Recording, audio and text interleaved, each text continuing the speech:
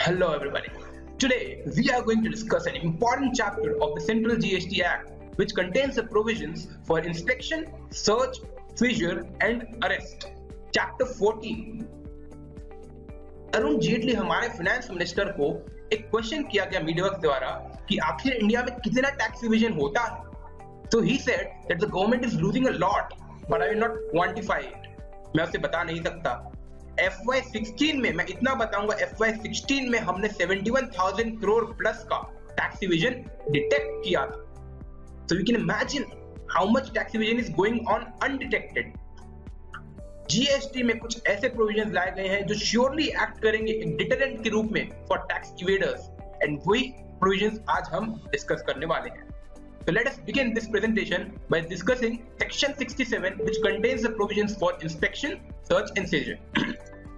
Section 67 में power दी गई है जॉइंट कमिश्नर ऑफ़ टैक्स या उसके ऊपर रैंकिंग ऑफिशियल्स को कि where he has reasons to believe कि कोई RTP registered taxable person has evaded tax in any way या कोई ट्रांसपोर्टर है या वेयरहाउस का ओनर है वेयरहाउस गोदाम का ओनर या ऑपरेटर है ऐसे लोग अगर कोई ऐसे गुड्स रखे हुए हैं which is on which tax या ऐसे ट्रांसपोर्टर और वेयरहाउस जो है ओनर ऑपरेटर हैं, उन्होंने अपनी बुक्स ऑफ़ अकाउंट्स इस तरीके से रखी है कि टैक्स इविजन तो होना ही होना है.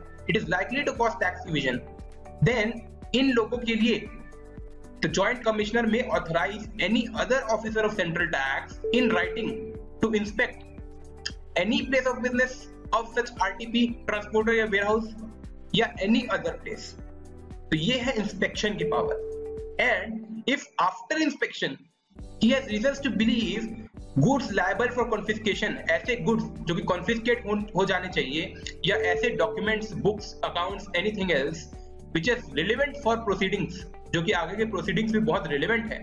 तो ऐसी चीज़ें अगर छुपा के रखी गई हैं तो he may order search of such things उन्हें ढूंढो एंड सीजर ऑफ़ देम उसकी जब्ती हो जाएगी. तो this is the power of search and seizure of goods books और डॉक्यूमेंट्स अगर ऐसा केस हो सकता है गुड्स की सीजर प्रैक्टिकेबल ना हो, ऐसे गुड्स जो कि बहुत बड़े हो, उनकी स्टोरेज स्पेस ही ना हो, या कुछ भी केस हो तो in such cases officer shall issue an order to the SSC कि आप ये गुड्स इस प्लेस से हटा नहीं सकते बिना हमारे परमिशन के। और वो गुड्स वहीं पे रहेंगे प्रैक्टिकली तो वो सीज रहेंगे बट वो उसी प्लेस में रहेंगे। So this provision covers the powers of inspection search and session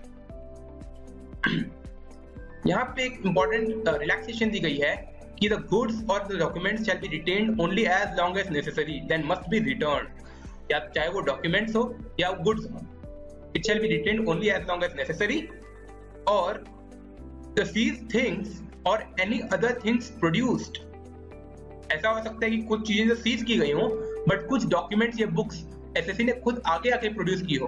तो ऐसी दोनों चीज़ें जो ऑफिसर के पास होंगी, अगर if not relied upon in the notice issued जो ऑफिसर नोटिस इश्यू करता है, उस पर अगर उसका यूटिलाइजेशन ही नहीं है, हो सकता है उस डॉक्यूमेंट्स का कोई रिलेवेंस ना रहा हो, बाद में ऑफिसर को रिलाइज हुआ हो, या वो गुड्स जो कि सीज हुई है, उसमें से कुछ गुड्स जो है, उस पर टैक्स इवेट नहीं हुआ। यानी कि उन पे रिलाई नहीं किया गया है नोटिस पे। Then return within thirty days of issue of notice तो ऐसे गुड्स को या ऐसे डॉक्यूमेंट्स अकाउंट्स को thirty days of issue of notice के दौरान रिटर्न करना पड़ेगा। पावर टू ब्रेक ओपन या सील ये एक इंपॉर्टेंट पावर दी गई है कि where SSC denies access to any almirah any premises any boxes electronic devices कोई भी चीज़ का ऑफिसर डिमांड करते हैं कि इसे खोलो बट एसएससी मना कर देता है। Then the officer is authorise to seal it उसे वो बंद कर दे अपने ताले से, चाबी से, या ब्रेक इट ओपन उसे तोड़ के उसे खोल सकता है। ये पावर ऑफिसर को दी गई है, जो भी इंस्पेक्शन सर्च एंड सीजर के लिए गया है, जिसको ऑथराइज किया गया है। Other important provisions in section 61 are कि officer can seize the document accounts produced before him if he thinks tax evasion involved. हो सकता है कोई नॉर्मल प्रोसीडिंग्स चल रही हो नोटिस इशू हुआ हो। इंस्पेक्शन सर्च रिजर हुआ ही नहीं है नॉर्मल प्रोसीडिंग्स चल रही है। एक एसएससी को डिमांड किया जाता है कि आप अपने कुछ अकाउंट्स प्रोड्यूस करो। When the SEC produces such accounts officer को लगता है कि टैक्स इविजन इन्वॉल्व है। अगर मैं इस अकाउंट्स को अभी सीज नहीं करता तो बाद में एसएससी से गायब कर सकता है या कोई भी केस हो। तो ऑफिसर देन एंड देयर जहाँ एसएससी प्रोड्यूस किया है अकाउंट्स या बुक्स जो भी, उसे सीज कर सकता है। ये पावर दी गई है। Where documents books seized officer may allow taking its photocopies officer allow कर सकता है कि भाई तुम फोटोकॉपी ले लो, हम ओरिजिनल सीज करनी है you can take photocopy required but officer तभी ऐसा अलाउ करेगा जब it is not detrimental to the interest of revenue. The government shall specify notification list of such goods. हाँ ये इंपॉर्टेंट है ऐसे कई सारे गुड्स होते हैं जो कि पेरिशेबल होते हैं नेचर में तुरंत खराब हो जाते हैं हजार्डस हो सकते हैं, या फिर बहुत फास्ट उनका डिप्रिसिएशन होता है, या इतने बल्कि होते हैं कि ऑफिसर अगर सीज कर भी ले तो उसे स्टोर कहाँ करें तो ऐसे गुड्स की गवर्नमेंट एक नोटिफिकेशन इशू करेगी, ऐसे लिस्ट बनाएगी कि इन गुड्स को ऑफिसर जैसे ही सीज करते हैं they can sell it immediately और अगर ऐसे गुड्स कोई सीज होते हैं तो प्रॉपर ऑफिसर सीज करने के बाद उनकी एक इन्वेंट्री बनाएगा स्पेशल सेपरेट इन्वेंट्री बनाएगा. राइट हैंड साइड में हम देख सकते हैं notice has to be given within six months of seizure जैसे ही सीजर होता है, उसके सिक्स महीने के अंदर आपको नोटिस इशू करना पड़ेगा. ये सिक्स मंथ का पीरियड और सिक्स मंथ से एक्सटेंड हो सकता है under some conditions also the goods that be released कुछ कंडीशंस में गुड्स जो कि सीज हुए हैं, वो रिलीज़ किए जा सकते हैं। अगर जो एसएससी है, वो बॉन्ड एग्जीक्यूट कर देता है और उस बॉन्ड के अगेंस्ट में एक सिक्योरिटी फर्निश कर देता है तो ऑफिसर रिलीज़ कर देगा। या उस गुड्स पे जो भी टैक्स इंटरेस्ट और पेनल्टी एप्लीकेबल होगी, जो भी टैक्स इवेजन है, वो टैक्स प्लस उस पे इंटरेस्ट प्लस जो भी पेनल्टी है, वो अगर एसएससी पे कर देता है, इन दोनों ही केसेस में ऑफिसर गुड्स रिलीज़ कर देगा। Test purchase another very interesting provision तब सेक्शन 12 डील्स विद इट यहाँ पे कमिश्नर को या ऑफिसर ऑथराइज को पावर दी गई है कि वो किसी थर्ड पर्सन को ये ऑथराइज करेगा कि वो किसी भी दुकान पे, किसी भी प्लेस ऑफ़ बिज़नेस पे जाए गुड्स या सर्विस परचेज करे और चेक करे कि प्रॉपर इनवॉइसेस इश्यू हो रहे हैं कि नहीं हो रहे हैं? सारे प्रोविजंस जो फॉलो होने चाहिए, वो कर रहा है कि नहीं कर रहा है एसएससी वो परचेज करके ले जाए, बाद में जब चेकिंग हो जाए then he shall return such goods और सर्विसेज़ जो बिल है, वो कैंसिल हो जाएगा, और पैसा जो भी एसएससी ने लिया होगा, उसके लौटाना पड़ेगा। तो इस तरीके से टेस्ट परचेज करके डिपार्टमेंट बहुत आसानी से पता लगा सकता है कि कोई टैक्स इवेट कर रहा है या नहीं कर रहा है। Very important in enabling provision for detection of tax evasion This completes our section 67. Now moving on with section 68. Inspection of goods in transit. Transit के दौरान गुड्स का इंस्पेक्शन बहुत इंपॉर्टेंट पावर है एंड ये ई वेविल का जो रूल्स आने वाला था जो कि पोस्टपोन हो गया है वो भी इसी के अंदर कवर्ड है where goods transported of value greater than specified amount government rules में या नोटिफिकेशंस में एक अमाउंट स्पेसिफाई करेगी सपोज़ 50000 अगर 50000 के ऊपर का कोई भी अमाउंट का गुड्स ट्रांसपोर्ट हो रहा है तो जो पर्सन इंचार्ज ऑफ़ कन्वेंस होगा, जो भी गाड़ी चला रहा होगा he must carry with him उसे अपने साथ ले जाना होगा सच डॉक्यूमेंट्स जो भी प्रिस्क्राइब होंगे, या सच डिवाइसेस जो भी प्रिस्क्राइब होंगे। डॉक्यूमेंट्स का एग्जांपल हो सकता है ई वे बिल या नॉर्मली टैक्स इनवॉइस ले जाना ही पड़ेगा तुमको। और डिवाइसेस डिवाइसेस का कोई एग्जांपल तो नहीं दिया हुआ है बट मैं एग्जांपल ले रहा हूँ जीपीएस हो सकता है गवर्नमेंट बाद में कंपलसरी कर दे। तो इन डॉक्यूमेंट्स और गुड्स डिवाइसेस को उसे ले जाना पड़ेगा where conveyance intercepted by proper officer जहाँ वो कन्वेंस को रोका जाता है कहीं भी रास्ते पे चेकिंग के लिए। तो ये जो डिवाइसेस होंगे और डॉक्यूमेंट्स होंगे, उसे एसएससी को दिखाना पड़ेगा, जैसे ही ऑफिसर डिमांड करता है। ये power of inspection of goods in transit moving on with the next part which is section 69 power to arrest यहाँ पे हम डिस्कस करेंगे कि किन केसेस में एसएससी को अरेस्ट किया जा सकता है। Where commissioner has reasons to believe that any person has committed offense, कोई अपराध किया गया है अंडर सेक्शन 132.1 के clauses A B C D के अंदर। एंड ऐसे अपराध, ऐसे ऑफेंसेस पनिशेबल हैं क्लॉज वन और टू के अंदर, जो कि अभी हम डिस्कस करने वाले हैं। या फिर ऐसा अपराध किया गया है जो कि सेक्शन 132 में कवर्ड है। इन केसेस में he may authorise proper officer to arrest such person arrest किया जा सकता है। अभी केसेस क्या हैं? 132.1 के clause A B C D कुछ इस तरीके हैं कि invoice not issued with intention to evade tax आपने इनवॉइस इश्यू नहीं किया, जानबूझ के, ताकि वो अकाउंट पक्के में आई ही ना रिकॉर्ड्स में आई ही ना इवेजन के लिए। या invoice of higher amount to get excessive input tax credit आपने इन्फ्लेटेड इनवॉइस इशू किया है, ताकि सामने वाले को इनपुट टैक्स क्रेडिट एक्सेसिव मिल जाए। Availed excessive input tax credit by fake या इन्फ्लेटेड टैक्स इनवॉइस मतलब दोनों फंसेंगे। जो इन्फ्लेटेड इनवॉइस इशू कर रहा है और जो उसका यूटिलाइज करके इनपुट टैक्स क्रेडिट ले रहा है। Tax collected but not paid within three months आपने टैक्स कलेक्ट तो कर लिया है, लेकिन तीन मंथ के अंदर पे नहीं किया है। तो ये चार offences punishment under clause one and two clause one में तब पनिशमेंट होगी जब अमाउंट इन्वॉल्व पाँच करोड़ से भी ज़्यादा है।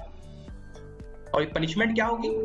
Imprisonment up to five years and fine clause two में जब अमाउंट इन्वॉल्व तीन करोड़ से ज़्यादा है तो क्लॉज टू में पनिशेबल होगा। और पनिशमेंट है imprisonment up to three years and fine तो ये चार अपराध करता है एसएससी और क्लॉज वन और टू में पनिशेबल है। यानी कि अमाउंट इन्वॉल्व तीन और पाँच पाँच करोड़ से ज़्यादा है तो उसे अरेस्ट किया जा सकता है। 132.2 कहता है कन्विक्टेड पर्सन अगेन कन्विक्टेड ऐसा हो सकता है कि कोई एसएससी ने पहले भी कोई क्राइम किया होगा टैक्स इवेजन किया होगा, और उसे सजा मिल चुकी है। जो भी फाइन टैक्स इंटरेस्ट पेनल्टी लगना होगा, हो सकता है जेल भी जा चुका है बट वो फिर से ऑफेंस करता है। Is again convicted then in cases में भी अब अमाउंट नहीं देखा जाएगा। अब चाहे एक रुपए का भी करे या मतलब अमाउंट नहीं देखा जाएगा। ही कवर्ड अंडर सेक्शन 132.2 और उसे भी अरेस्ट करने का पावर रहेगा डिपार्टमेंट के पास। 132.5 सेक्शन जो है, वो कहता है कि if offence is committed under clause ABCD and punishable under clause one यानी कि अमाउंट इन्वॉल्व पाँच करोड़ से ज़्यादा है then arrest is cognizable and non bailable cognizable का मतलब है कि officers can arrest them without any arrest warrant non bailable मतलब आपको बेल किसी भी हालत में नहीं मिल सकती। अगर ऐसा कोई अरेस्ट होता है then officer shall inform the person about the ground of arrest किस ग्राउंड्स पे, किस आधार पे आपको अरेस्ट किया जा रहा है, और उसे मैजिस्ट्रेट के सामने पेश किया जाएगा within twenty four hours magistrate मतलब जो सबसे छोटा लेवल का कोर्ट होता है, वहाँ पे उसे पेश किया जाएगा. सेक्शन 132.4 कहता है कि all other offences are non cognizable and bailable मतलब बाकी सारे ऑफेंसेस के लिए अरेस्ट वारंट कंपलसरी होगा और उसमें बेल मिल मिल सकती है एसएससी को। बट ऐसे केस में भी नॉर्मली बेल जो है, वो एक बेल बॉन्ड फर्निश करनी पड़ती है, तभी बेल मिलता है। If SSC fails to furnish the bail bond bond furnish नहीं कर पाता है तो बेल नहीं मिलेगी। He must be produced before magistrate and forwarded to the custody of the magistrate ये है हमारा power to arrest moving on with another important provision section 70 power to summons यहाँ पे पावर दी गई है कि ऑफिसर जो है, he shall have the power to summon any person in any inquiry in the same manner as in the case of a civil court जिस प्रकार से कोर्ट किसी भी आदमी को पेश होने की आदेश दे सकता है, उसी प्रकार ऑफिसर भी दे सकता है। बट एनी पर्सन मतलब क्या? एनी पर्सन मतलब वो जिसे ऑफिसर सोचता है कि हाँ ये आदमी कुछ एविडेंस दे सकता है, कुछ गवाही दे सकता है। या इसके पास कुछ डॉक्यूमेंट्स है या कुछ भी एविडेंस है जो रिलेवेंट है प्रोसीडिंग्स में, ऐसे आदमी को वो पेश होने की ऑर्डर दे सकता है समन कर सकता है Every such inquiry shall be deemed to be judicial proceedings under section 193 and 228 of Indian Penal Code. मतलब इसे बहुत ही ऊँचा दर्जा दिया जाएगा और पावर काफ़ी ज़्यादा रहेगी ऑफिसर की so this was the uh, power to summons. And now next section is section 71 access to business premises. यहाँ पे प्रॉपर ऑफिसर को पावर दी गई है जो कि एटलीस्ट ज्वाइंट कमिश्नर है उसके ऊपर रैंक का होना चाहिए। तो ऐसे ऑफिसर को किसी भी प्लेस ऑफ़ बिज़नेस के एसएससी के एक्सेस होगा। वो कभी भी कोई भी प्लेस ऑफ़ बिज़नेस पे इंस्पेक्शन कर सकता है। Books of accounts documents computers computer programs computer software whether installed और not such other things as may में रिक्वायर ये सब चीज़ें वो चेक करने के लिए एक्सेस कर सकता है। For the purpose of carrying out audit, scrutiny, verifications, checks, as may be necessary, safeguard the interest of revenue. also, नीचे हम देखेंगे every person in charge of such place जो भी उस प्लेस ऑफ़ बिज़नेस का पर्सन इन चार्ज होगा head होगा head administrator होगा ही shall make available on demand जैसे ही उसे डिमांड की जाती है तुरंत अवेलेबल करवाएगा। क्या चीज़ें such records maintained and declared to PO in prescribed manner ऐसे रिकॉर्ड्स जो कि वो मेंटेन करता है उस प्लेस ऑफ़ बिज़नेस में trial balance annual financial statements cost audit report income tax audit report any other relevant record ये सब उसे अवेलेबल करानी पड़ेगी तुरंत। इसको ऑफिसर को ऑडिट पार्टी जो आई है फ़र्स्ट अकाउंटेंट या चार्टर्ड अकाउंटेंट जो भी सेक्शन 66 के अंदर स्पेशल ऑडिट के लिए आए हैं। इन सबको वो अवेलेबल करवाना पड़ेगा विद इन फिफ्टीन डेज़ और अगर 15 डेज़ किसी कारण नहीं हो पा रहा है और ऑफिसर ज़्यादा टाइम अलाउ करता है तो वो एक्सटेंडेड टाइम के अंदर अंदर उसे अवेलेबल करवानी पड़ेगी। Section 71 section 72 officers to assist proper officers यहाँ पे एक इंपॉर्टेंट और बहुत इंटरेस्टिंग प्रोविज़न है कि बाकी ऑफिसर्स जो है, वो भी जीएसटी ऑफिसर्स को असिस्ट करेंगे। कौन ऑफिसर्स पुलिस ऑफिसर्स रेलवे के officers customs land revenue village officers officers of state GST act या यूनियन टेरिटरी जीएसटी एक्ट ये असिस्ट करेंगे।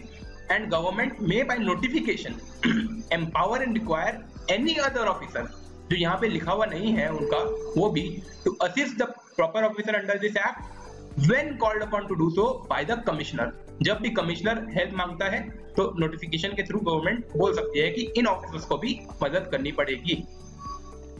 This was section seventy two and this complete our presentation of today covering chapter fourteen inspection search seizure and rest I hope it was interesting for you thank you for listening to this presentation goodbye